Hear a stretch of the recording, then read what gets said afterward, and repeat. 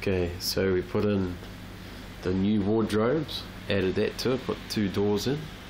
and enlarged the uh, bathroom slightly.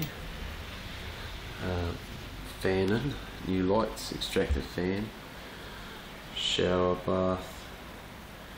new tiles on the floor, put the heated towel rail back, safety bits, and uh, safety plug, and then we put back